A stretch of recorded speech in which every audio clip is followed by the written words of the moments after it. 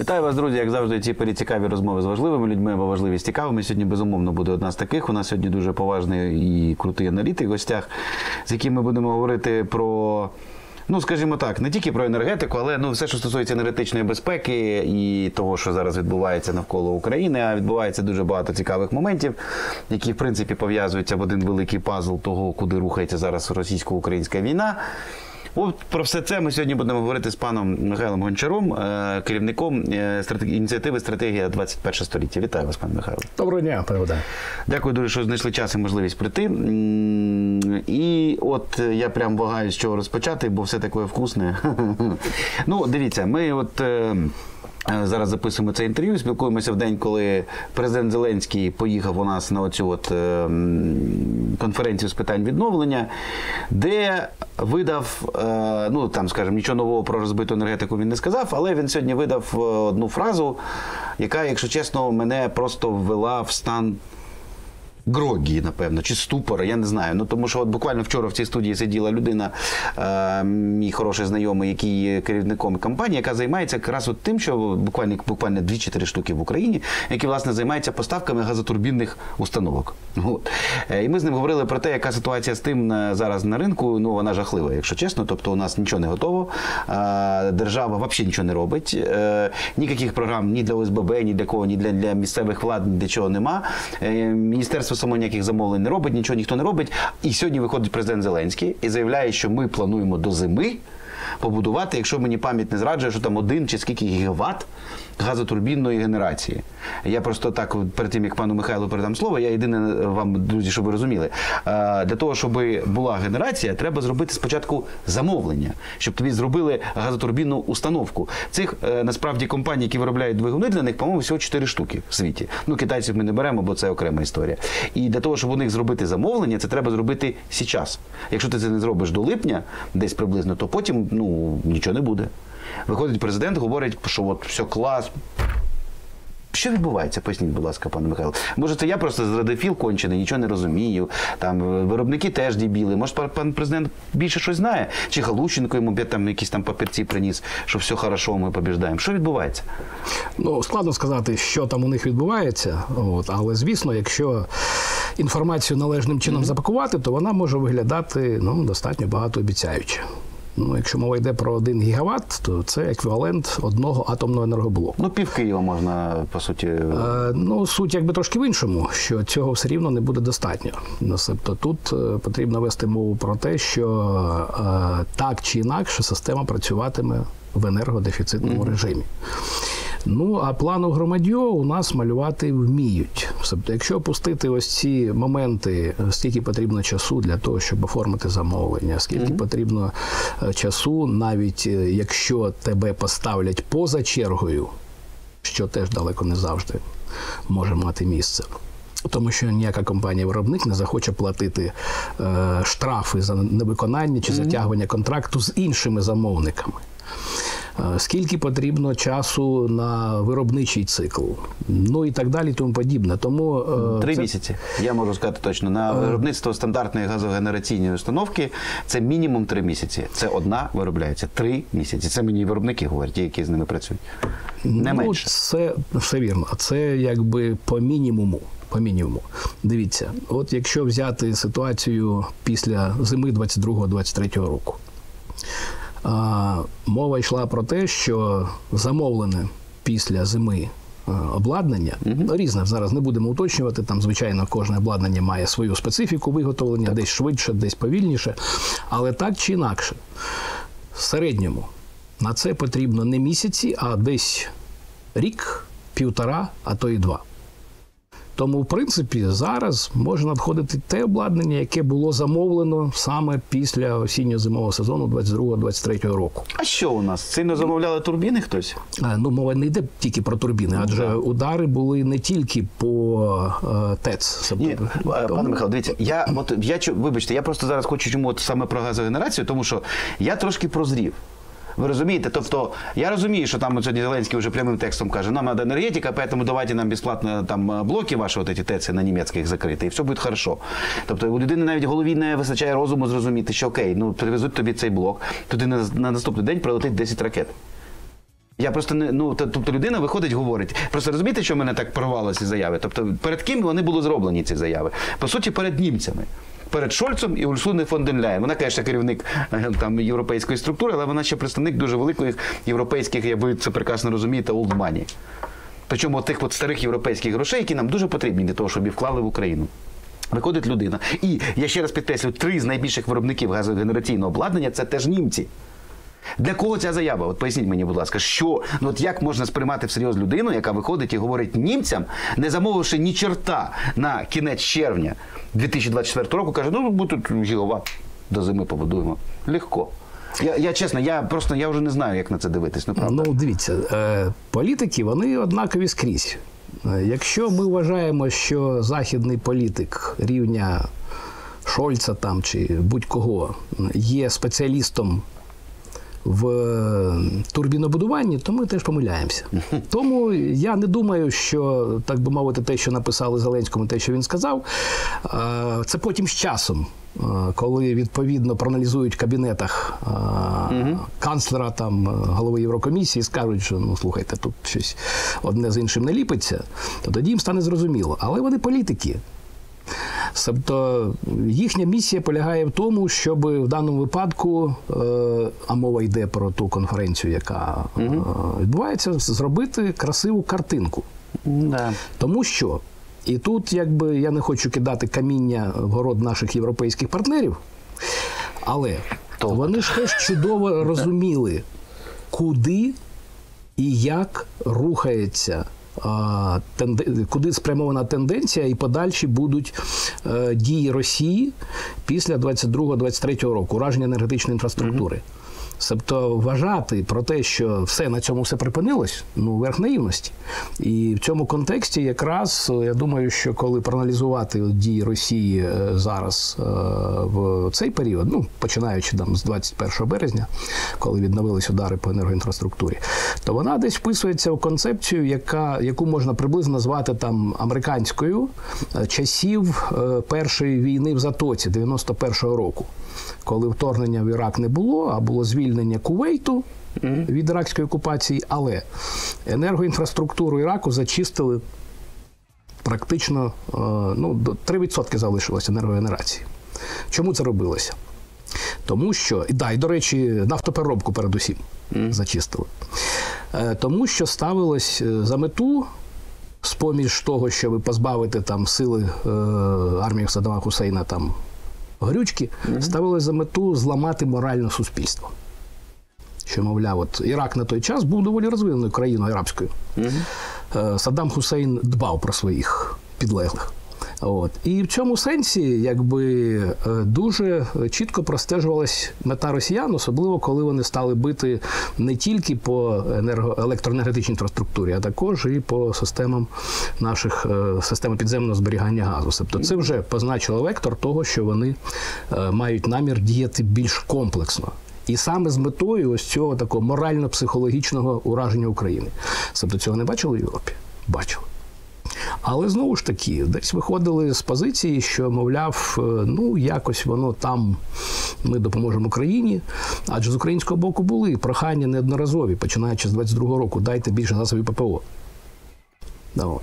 Тому що одна справа е, прикрити Київ це добре, прикрити деякі важливі е, міста, де у нас е, оборонно-промисловий комплекс.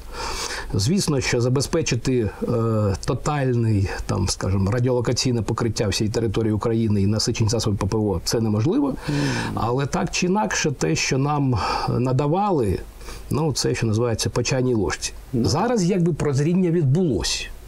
Але знову ж таки нам говорять, ну от нате вам одну батарею патріотів. Ну, спасибо вам. Ні, ну хорошо. Е, Добре, звичайно, але цього недостатньо. А зробити інший крок, е, більш радикальний, тобто те, про що говорили теж, як зараз пам'ятаю, е, початок березня 22-го року тоді. Можливо, Закрите і ваш небо. підпис там стоїть. Так, закрите небо, принаймні над західною частиною України.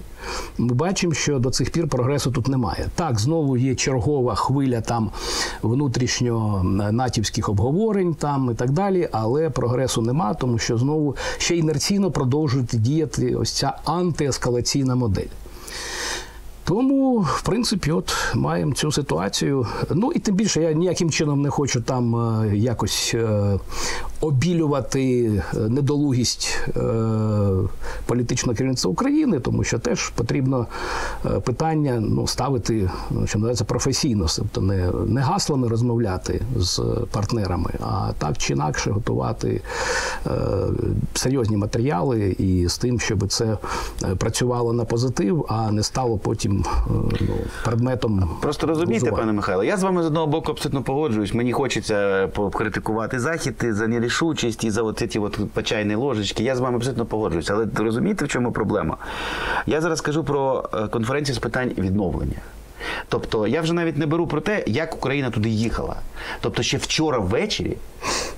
Що ну не мені вам пояснювати, коли от е, протокол висить написано там Олаф Шольц буде, Урсула фон ден Ляєн, а від України написано делегат від України. Це ще раз конференція по відновленню, куди Україна приїжджає гроші просить.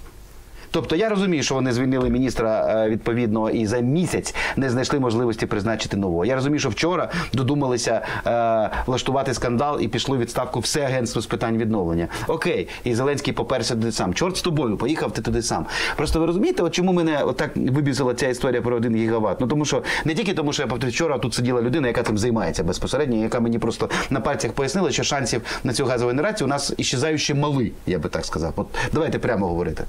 Тобто ті місцеві влади, хто от прямо зараз, от прямо зараз, зараз, зараз, от прямо зараз це почне робити, ну може що то встигне. Е, в більшості вже ні. І, і ви розумієте, я ви праві, але просто це ж питання не про те, не про Урсулу фон ден Ляйн, який там хтось потім пояснить, як там робляться газові турбіни. Це просто про підхід. Ну хто Ні, нам ну, дасть хоч копійку грошей? Тут немає Вибачте, що мене так про я, я просто я на це подивився. У мене просто штора упала, чесно. Я думаю, ну ви вже зовсім страх потеряли? Ну ну ну як це так? Ну я просто не розумію, чесно. Знаючи, от прямо зараз ми сидимо, ми з вами на генераторі працюємо в цій студії. У нас немає зараз електрики. Людина, яка президент, дозволяє собі так робити. Ну, може, я щось не розумію. Ну, чесно. Просто вже дивитися на це не, не вистачає ні сил, ні, ні емоцій. А головне, я не розумію, на що він розраховує. От ви мені поясніть, будь ласка, от з такою брехньою. Ну ти збрехав. Окей, ну німцям вже пофіг, нам не пофіг, тобі не пофіг. Ти ж збираєшся президентом ще раз будь. От що він буде робити, коли виявиться, що це туфта? Ну не буде ніякої газової генерації на 1 гігават. Не буде. І що він буде говорити? Далі, в грудні місяці. Єрмак підкаже. Тут нема чого коментувати. Це ж вибачте, не, не, перший, не, не перший випадок, так би мовити, невігластва і. е, Так, ганебно виглядає дійсно все. Ну, от, але Просто от е, я так розумію, що ми розраховуємо, що нам просто видадуть німецькі ТЕЦ, да, закриті в минулому році, в минулому році, а їх там штук 20 по, по країні, да, і ми розраховуємо, що нам просто подарують е, теплові блоки і все, да? Це от наш план. Да? ну, якби це ж теж ситуація не так, що тут от зняли, а сюди поставили. Це, то це далеко не все там, напевне, в ідеальному стані і так далі. Е, Це не стане панацеєю. Єдине, що тут важливо, щоб не менш важливо, е, щоб бути чесним із суспільством, власним суспільством. Ну, от. Тому що е, це теж якби елемент, я би сказав, е, е, і довіри. Падаючи, стрімко падаючи довіри до чинної влади, і дивляться, наприклад, з цим же підвищенням тарифів. Тобто, ну хіба не було зрозуміло, що все це потрібно робити поступово десь е, з моменту, коли був введений закон про ринок електроенергії, а це там з 1 липня 2019 року ще. От. А не робити це в такий спосіб. І тримати практично майже 5 років все це е, із-за того, що ставились от такі от популістські цілі виглядати гарним, з гарним рейтингом для електорату і так далі. Ну от тепер вони Ну так всі робили президенти. Це Ну це так. Ці не виняток. Тут уже, да. це, це, це, це безперечно. Заради справедливості, да, скажемо. Добре, пане Михайло, тоді дивіться, раз вже ми за енергетику взялись. Ви дуже класний написали чудовий текст.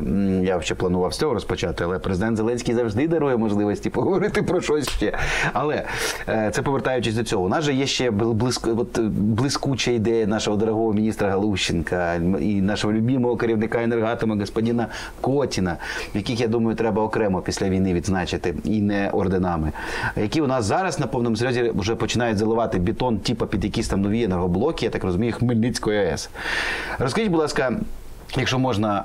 Що це за проєкт, е, чи він на часі, наскільки швидко це може запрацювати, де вони збираються ці енергоблоки брати, бо ви дуже добре це розписали. Я ж прозрів. Я думав, може вони американські хочуть будувати, а виявилось ні. Ні, хочуть, чому хочуть, те. Пане Михайло, вам слово, прошу.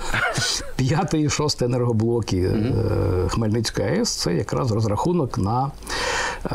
Westinghouse, на AP 1000, от, які так само еквівалентні по потужності існуючим ВВР, тільки компактні. От, і тому туди вже там якісь залили. Бетон зробили відповідне шоу з залученням послиці Сполучених Штатів е, в Україні. Ну і виглядає, звичайно, воно дуже непереконливо, тому що потрібно взяти до уваги те, що є певна процедура. Це питання пов'язані з ядерною безпекою. І якби діяти в обхід цих процедур. Ну, це не просто ганебно, а це неприпустимо. Це перше. Друге, е, це п'ятий і шостий енергоблоки. Як відомо, на Хмельницькій АЕС два енергоблоки потужністю по 1000 МВт.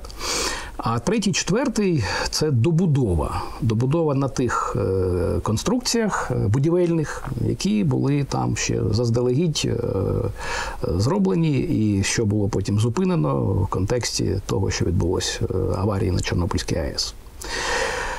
І якби ця ідея, вона то не нова там добудувати, особливо коли мова йде про третій енергоблок, е, де, як завжди зазначалось, що там практично 75% готовність. Ну, готовність будівельних конструкцій, але знову ж таки ці будівельні конструкції вони Стоять належним чином стоять, е, да, і належним чином вони не зберігалися, і відповідно е, там жодна експертиза не дала позитивного заключення, позитивного висновку про те, що їх можна далі використовувати. Ну от дійшли висновку зараз, що а чому б і ні? Вважається. Е, І тут раптом підвернулась халява, умовно, що болгари свого часу відмовились е, від е, проекту е, добудови е, побудови енергоблоків російського дизайну е, на АЕС Белене е, на користь американських. Ну там свої страсті мордасті.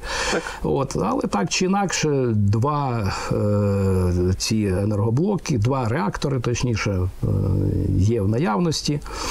Е, Вони, звичайно, не повністю комплектні у своїй поставці. От е, Росатом пред'явив претензії болгарам свого часу за те, що вони зірвали е, контракт, і болгари заплатили там десь здається 620 мільйонів євро штрафних санкцій по рішенню арбітражу.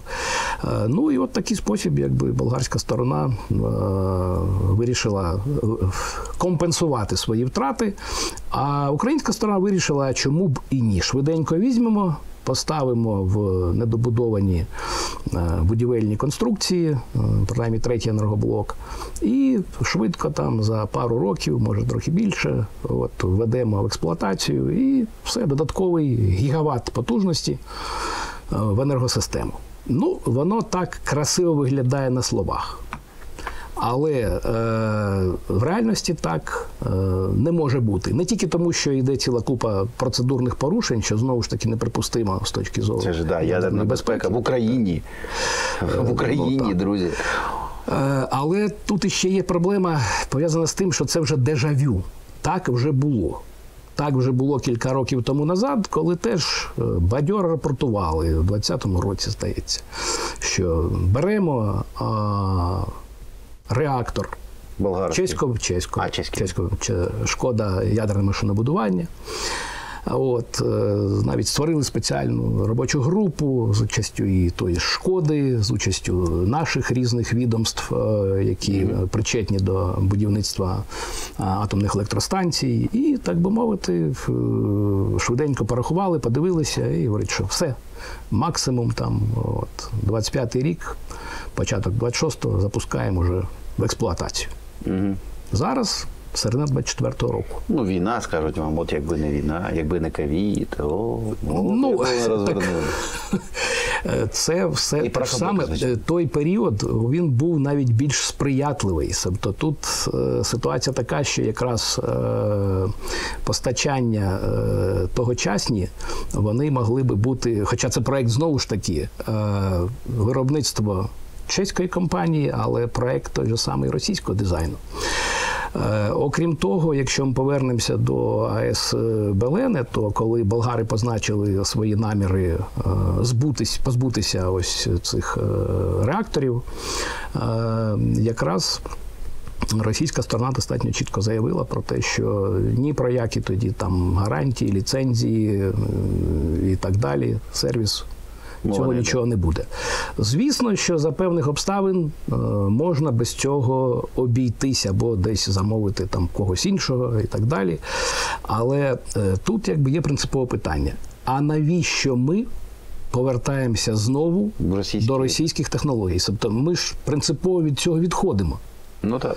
І окрім того, якби це ж теж уже е, не в сьогоднішній день, а ну я би сказав, навіть позавчорашній. Знову ж таки. Потім те, що дешево, потім дуже дорого обходиться, особливо коли маєш справу з якимось е, з чимось, що має російські хвости чи російське походження. Тому так чи інакше, е, це рішення піддавалось критиці і раніше, і зараз. І окрім всього іншого. Так а зачем же його тягати зараз, ви розумієте? Тобто те, що Ну тому що знову таки можна показати, по-перше, паперову активність. От. А хто ж проти зараз того, щоб е, нам додати кілька гігаватів додаткової Ні, ми тільки за, тільки в нас ситуація така, що у нас Але країна в апокаліпсис може впасти взимку, а вони реально заливають гроші в бетон під, рос- під російський е, недобудований реактор. Е, Тобто тут да, мені нагадує це історію, знаєте, як е, будується якийсь там е, будинок, сусід з іншого кінця будинку його підпалив. А тут будівельник говорить: ну ні, ну там гасити нічого не будемо, треба добудовувати. Ось ми тут добудовуємо. Давайте ось таким чином і далі. Тому що за цим цим просто приховується, на мій погляд, якась чергова е, схема розпилу е, коштів, які, так би мовити, ще е, потрібно десь взяти. Коли говорять Ну, про те, що дасть, енергоатом це може зробити за свій кошт, ну погляньте на фінансовий стан енергоатом. І хто профінансує все це? Навіть якщо взяти там українські банки, то вони теж не в найкращому становищі. Тобто, це е, якби мова йде про те, що може йти е, про е, на різних паперових звітах і бетонних земляних роботах можна певні суми, так би мовити, спрямувати Куди треба? Куди потрібно, да. От. І це якраз найбільше і породжує е, питань. І, е, власне кажучи, коли ситуація проблематична в інших сферах енергетики, електроенергетики, то чому пріоритетом раптом стають речі, які ну, вони то повинні бути в перспективі, але зараз вони явно не на часі. Е, от, до речі, от мені цікаво, от щойно прочитав новину. Урсула фон дер Ляєн на оцій от конференції, про яку ми з вами говорили, заявила, що Європа зібрала 500 мільйонів євро на ремонт української енергетики. Що ці цифри можуть означати? Тобто це просто гроші? Ну, дякуємо, гроші це супер, але ж гроші самі не генерують електроенергію, давайте відверто скажемо. Ну так чи інакше, вони прийдуть якісь із фондів, які Ну, на що на гроші? Тобто що? Теплоблоки купувати чи що? Це ж все одно час. Енергетика це час. Це ж не трансформатор привезти навіть. Ну, трансформатор теж потрібно виготовити. Ну так, да, я ж про що. Ну, поки що це загальна фраза, яка говорить про те, що якісь кошти збираються. От. Тому ну, випадку це в плюс. От. Але ну, ми розуміємо, те, що я говорив про політиків, що політики якби вони часто живуть поза е, Конкретикою. Ну, і, да, уявленнями, уявлення про реальність у них якби може не співпадати е, з їхніми е, Діями. бажаннями, діями і так далі. Вони думають, що можуть думати, що раз кошти є, і що ці ті 500 мільйонів, звичайно, це добре, але на тлі заподіяних уражень, які обчислюються, я так думаю, що десятки мільярдів, от зрештою, то це капля в морі. Окрім того, якби тут ще багато інших проблем, і з точки не тільки з точки зору менеджменту, там управління цими е, коштами, відповідні фонди є. От, але якби е, це ж теж е, ситуація не просто так, що от нате вам гроші, зробліть щось з них. магазин, купіть новий ТЕЦ. Так, так. От. Добре, давайте до ще однієї прям зради зради підемо або не зради. Я вже не знаю, як це оцінювати, враховуючи нашу прекрасну ситуацію. Е, Дуже цікава інформація. Там вже пішла по низці великих європейських і американських медіа, що нібито е, дуже прям. Я не знаю, ну не не буду казати на якому етапі, але вже прям дуже близько до кінця перебуває така значить, схема. Як, як відомо, у 2024 році закінчується контракт е, на прокачку російського газу. 31 грудня. Так, е, і якщо типа він не передпідписується, це означає, що Росія взагалі повністю фізично втрачає весь російський е, європейський ринок газу. Це чудово. Он Сьогодні ви бачили новину, як Газпром обвалився. Останній раз збитки в нього було в 99-му році. А такий рівень постачання газу в Європу останній раз Росія давала в кінці 70-х років минулого століття. Коли Газпрому не було. Да. Ну, я маю на увазі, це просто, щоб е, коли ще там не недобудовані були багато газопроводів і так далі, тому подібне. Я до чого веду, що ситуація для на газовому ринку для Росії катастрофічна. І тому вони зараз шукають можливості цю історію вирішити. І от. Ми не забуваємо, що є низка країн в Європі, які продовжують отримати російський газ, причому через нашу систему е, чи через турецьку систему. От І так, хочу- і так. І так, і так, Да. І от ні- Приблизно порівну зараз іде. і от нібито нова схема пропонується, щоб, значить, е, Європа відмовляється типу, від російського газу і тепер буде де юре окупувати в Азербайджані.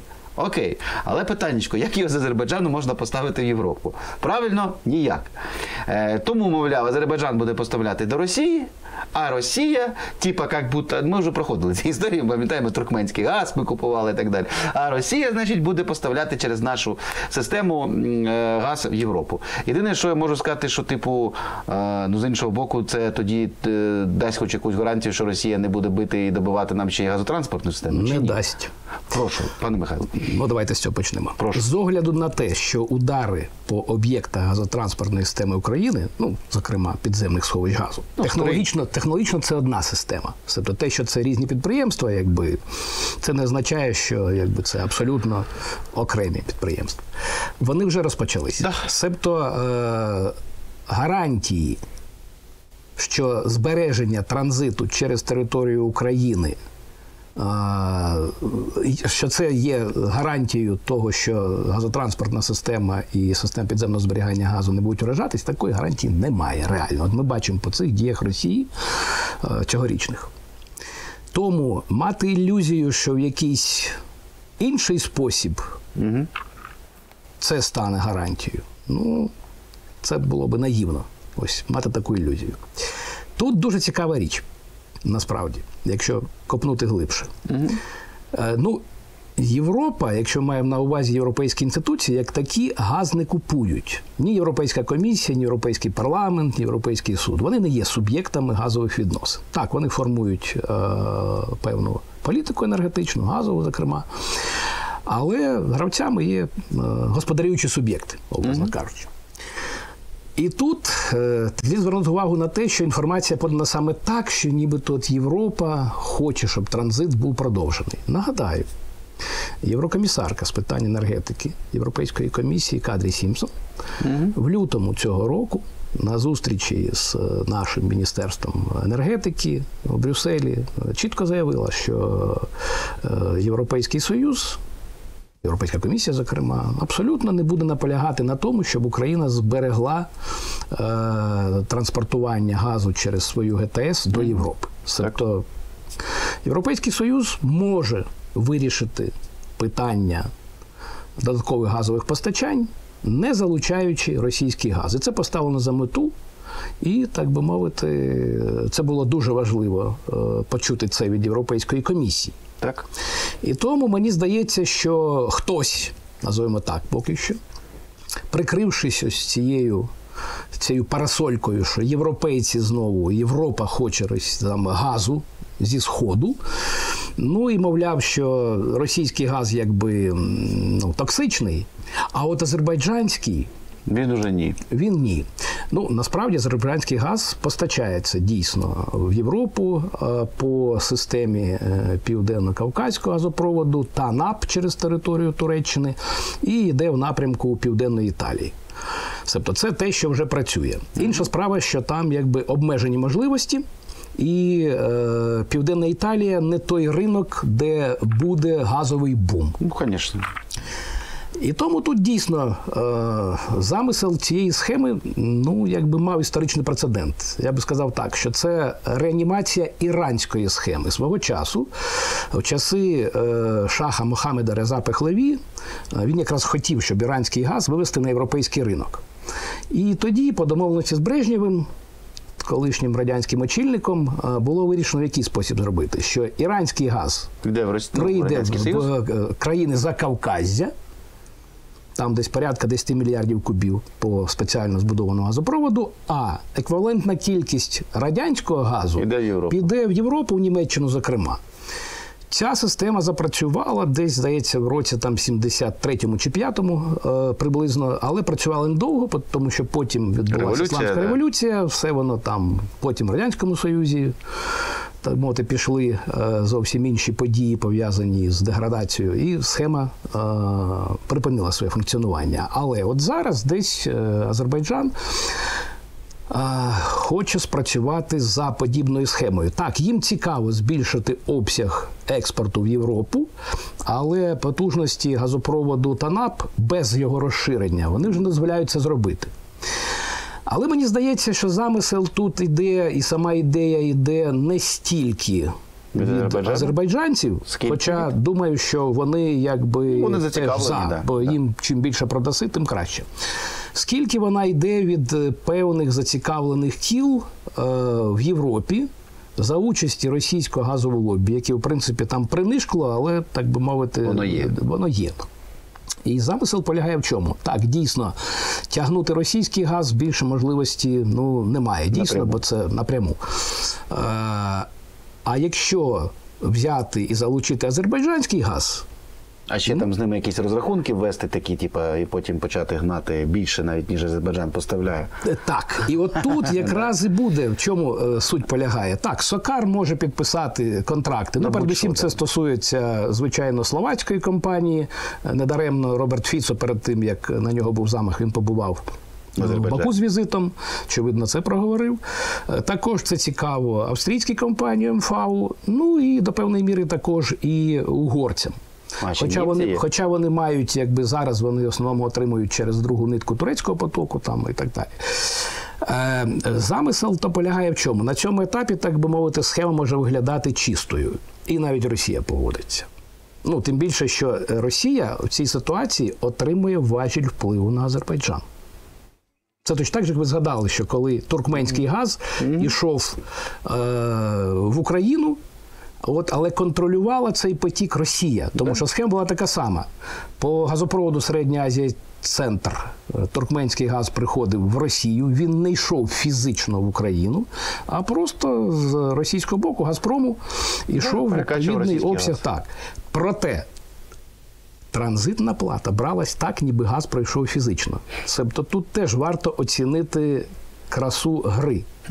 Тобто фізично газ азербайджанський не буде переміщатися, це свопова операція, але ось цей платіж буде вноситися як платіж за фізичний транзит. Ну, відповідно, його можна поділити. Далі ситуація може розвиватися іншим чином, що, мовляв, Європа хоче більше азербайджанського газу. Але його більше немає, тому що фізично видобувається стільки, скільки вони можуть спожити і продати. А де взяти? А от надлишок є в Газпрому. І Газпром не проти його продати. І Газпром продає його азербайджанській компанії. Це не обов'язково може бути сокар, щоб, так би мовити, не псувати репутацію. Можна створити якусь спільну компанію там. Якусь групу приватних компаній об'єднати. Е, Мовляв, немає ніяких там участі державних компаній і так далі. Е, Вона закупить цей надлишковий вільний газ від Газпрому.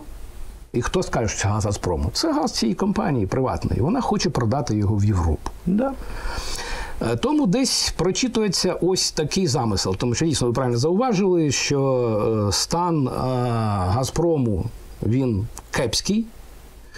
Так, він ще не фатальний, але воно того йде. Більше того, візит е, Путіна до товариша Сі Цзіньпіна Дуже приніс велике розчарування.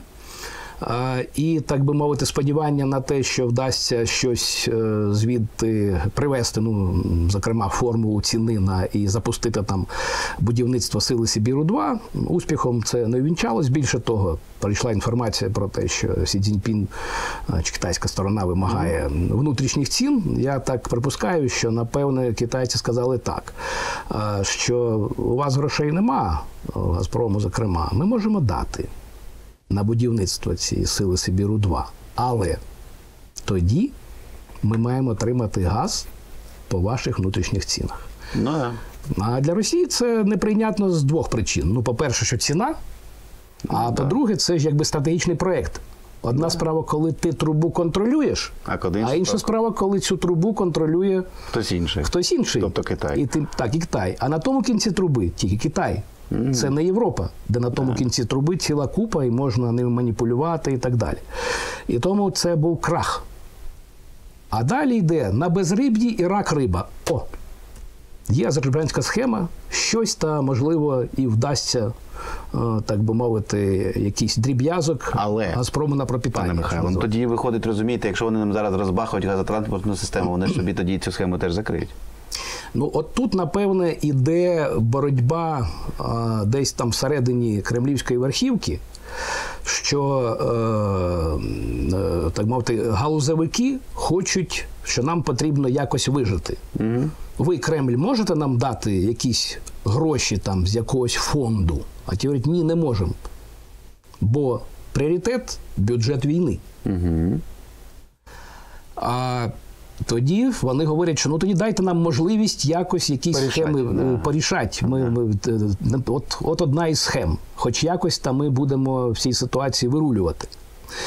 Але для Кремля зараз головні пріоритети дійсно якби е, військові і наповнення бюджету війни, а Газпром уже тут нічого не може дати, навпаки, від Ну, да, вже мінус. От, тому пріоритет е, нафті, нафтопродуктам, які продовжують е, живити цей бюджет війни.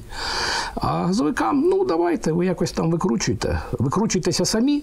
От. Ну от вони, так би мовити, з допомогою е, різних е, своїх е, контактів і комунікацій і в Європі, і в Азербайджані запропонували е, ось таку схему, яку тепер намагаються видати. Е, Я думаю, спекулятивно якраз, що це, мовляв, Європа хоче.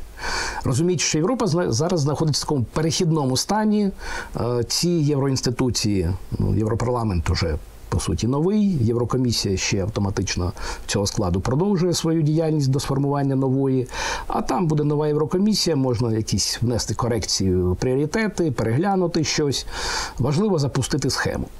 Ось я думаю, такий замисел. Тому тут, е, якби для нас, е, для української сторони, питання принципово стоїть: е, ніякого транспортування далі російського газу бути не може. Якщо раптом з'являється, зрештою, бо це все ще вилами по воді писано, якийсь потік азербайджанського газу, то в принципі, так чи інакше, жодних контрактів, угод. З Газпромом чи його дочірніми компаніями Бути не може, але бути фізичний може. перетік може бути. А фізичний потік може бути. Проте тут потрібно чітко контролювати, знаючи обсяги, які може забезпечити Азербайджан, щоб не було ніяких перевищень. І контракти з азербайджанцями мають підписувати тільки європейські компанії, які мають закуповувати цей газ або на кордоні Росія-Україна. А далі ми транспортуємо власне європейський газ, навіть не азер... це вже газ європейської компанії, який куплений у азербайджанської на кордоні Росія-Україна. Або нехай вони купують на кордоні Азербайджан-Росія навіть. Якщо хоч, хай мають справи з Газпромом по транзиту, так би мовити. Ось такий спосіб. Але звичайно, що тут якби подвійний ризик. По-перше, за цих обставин е, азербайджанський газ, його транспортування через територію Росії для Росії нічого не значить. Якщо у них домінують військові підходи, то вони можуть будь-який час припинити все це. От, і мають важіль впливу, власне кажучи, і на Азербайджан, ну і Так, на ну, погоджуватись на це чи не погоджуватись, от якби вас спитали. Якщо нам Е, Я би не погоджувався на все це. Хоча там кілька мільярдів доларів за транспортування. ні, ні, ні, ні, ні. Які мільярди доларів? Ні. ні, ні. Так чи інакше, це не можуть бути великі обсяги постачань. Тобто вони е, будуть йти там. Ну, це в кращому випадку це будуть якісь там, може, сотні мільйонів євро, не більше того. Абсолютно. Тобто зараз Азербайджан ще не має тих обсягів, які ну коли б можна було вести мову про те, що підуть там якісь там додаткових 20 мільярдів, наприклад. От. Окрім того, ну я думаю, що вони розглядають це як тимчасовий варіант, поки е, потрібно добудувати кілька газокомпресорних станцій для того, щоб збільшити можливість прокачки Танап. по, по Танапу. Так. Тому що труба там ще дозволяє додати, але потрібно е, тоді, коли будувалася перша черга, то власне вона була якби е, розрахована саме на ті обсяги постачання, які там до 10 мільярдів кубів. І в цьому контексті знову ж таки, ну це якби інша історія. Але чому азербайджанський газ пішов саме на південь Італії? Тому що його в центр Європи Не не пустив Газпром. Ну, звісно. І їх спрямували туди, де ринку великого не було, нема і бути не може. Особливо в умовах, коли Європейський Союз відмовляється від е, викопних видів палива. Ну і в Газпромі вирішили, що це якби вам буде достатньо там, вам в Азербайджані. Вони ж там е, протягом кількох років блокували вихід, е, там як цей газопровід. Е, Трансадріатичний ТАП. Е, після Танапу е, він іде по території Південної Європи і в Албанії переходить через Тіренське море на територію Італії в районі провінції Апулія, е, де якби скрізь суцільно така охоронна зона. І Сокар запропонував 12 варіантів виходу на італійське узбережжя. Всі ці варіанти були відхилені. Там з'явились місцеві екологічні активісти. активісти, які там були протести і так далі. От ну а зрештою, якби Азербайджан погодився, там якось врегулював свої питання з Азпромом, і ті там з барського плеча, так мовити, ладно. Будуйте. Тому що цей обсяг, е, з яким вони виходили, він не представляв там е, серйозної конкуренції газпромівським обсягам, і до того ж він виходив на той ринок, який не матиме розвитку. Ну і підсумовуючи нашу з вами розмову, чи може енергетика стати тим фактором, яка ну дуже суттєво може вплинути на, скажімо так, позицію України щодо того, чи будемо ми про щось домовлятися з Росією? Давайте так. І намагаються зробити такою. Ну, власне кажучи, дії е, Росії тут спрямовані якби на те, щоб морально зламати і владу, і суспільство. І це один з чинників схилення до пошуку якихось там. Компромісів, якихось да. там переговорів і так далі. Ну тут не потрібно мати ілюзії, що очевидно в е, українському політикумі є ті, хто е, готовий до таких е, перемовин чи що. Якщо ми поглянемо на цей трек е, е, швейцарського саміту, і особливо те, що далі має послідувати, то це, на мій погляд, ну така маскувальна операція, що якби. Замаскувати під волю міжнародного співтовариства переговори з Росією. Ну, да. Що вони якби відбудуться не в такому двосторонньому форматі, а в багатосторонньому, що от є якийсь там досягнутий міжнародним співтовариством документ, який, е, так би мовити, спонукає нас зробити певні кроки. От, і що потім міжнародне співтовариство теж впливає на російську сторону, і вони змушені будуть піти на компроміси. Але це, звичайно, далеко не так. Ми бачимо це по поведінці Росії. Тому останнім часом ми спостерігаємо активність на е, дипломатичну е, з боку української сторони е, на треках з різними миротворцями в лапках. Мається на увазі Китай, Туреччина, Ватікан. Саудівська Аравія. Саудівська Аравія, які е, займають різною мірою, але достатньо проросійську позицію. Хтось більш активну, Китай останнім часом, а хтось е, більш пасивну. Але так чи інакше, це е, в, в ситуації, е, яку, яку, як вони бачать ось е, врегулювання так званої з їхньої української кризи, вони так чи інакше е, грають е, на російському боці. І на це потрібно звертати увагу. Е, Інша справа, що чомусь на банковій багато хто мав ілюзії, наприклад, стосовно того ж Китаю. І тому звідси така. В принципі, е, логічна, бурхлива реакція була президента Зеленського щодо китайської позиції. Але от чому для нього це явилось таким откровенням, коли Китай якби послідовно займав е, по суті антиукраїнську позицію. Це е, традиція китайської дипломатії. Говорити одне, робити зовсім інше.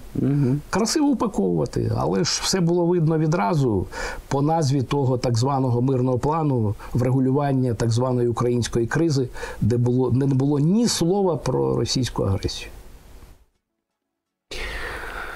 Ну, все це дуже кепсько виглядає, скажімо відверто. Тому що, от ви правильно сказали, коли влада не хоче говорити правду, то виникає питання або вона некомпетентна, або вона бреше. Я не, не знаю, що гірше. Два в одному. Некомпетентний і бреше. Ну тобто хтось некомпетентний, а хтось розуміє, що відбувається, і бреше. І виливає це в вуха цій людині, яка виходить і розказує про гігават газової генерації. А потім, коли його не буде, ми скажемо, ну ладно, все, то що, давайте договарюватися, да? Я так розумію, логіка така. Е, Ну, логіка така, але я думаю, що це не спрацює. Ну, Тому, е, оскільки е, ми бачимо, е, як вибудовуються. Ну, тут якби ситуація виглядає таким чином. Далеко не ідеальні позиції, як ми розуміємо, і в наших партнерів. І вони теж е, десь там коливаються, і ми зараз бачимо, що зараз більше говорять про те, про що мали би говорити рік-півтора тому назад, про перемогу України, про поразку Росії. Зараз про це говорять більше. Але ще інерція продовжується. Ми бачимо це як я називаю ефект Шольца. А, вони вже відчули, що треба міняти підхід, тому що підхід антиескалаційний, чи так, чи, чи так, що не допустити поразки Росії там, от, і не дати впасти Україні, що цей підхід не працює вже. Тобто вони це відчули, але тепер знаходяться в стані переосмислення підходів. Так що я думаю, що е, зараз якраз е, ось найближчі події. Там не стільки пов'язані з швейцарським самітом, скільки там з самітом е, НАТО, е, вони якби е, будуть достатньо символічними. Ну зрозуміло, що там не потрібно закладати надочікувань щодо саміту НАТО. Він Нічого буде там в такому не там не буде. 16 дадуть. Але важливо не те, що прозвучить публічно, а те, що буде прийнято не публічно, і те, що ми побачимо, якби там в певних конкретних діях. А я думаю, що це якраз матиме місце. Ну, що то я думаю, там випливе план Бориса Джонсона колишній. Типу, дадим вам много оружия, я би так сказав. В НАТО не візьмемо, а оружие поки будемо давати. Ну, як-то так. Ну, може, я помиляюсь. Ну, це те, що нам потрібно. Ну, по але це, звичайно, так. це, це необхідна, але недостатня умова, особливо за нинішні обставин. 100%. Дякую вам дуже за розмову. Це був пан Михайло Гончар, керівник е, стратегічної ініціативи. Боже, Центр глобалістики, Це- стратегія 21. Пробачте, будь ласка, да. Е, Дякую дуже за дуже цікаву розмову, друзі. Вибачте, якщо комусь холод труси нагнали, але ну ви маєте розуміти е, реальність, і мені здається, що тільки від неї варто відраховувати свої дії і планувати своє якесь життя. По іншому не вийде. Дякую за увагу. Побачимось, почуємось.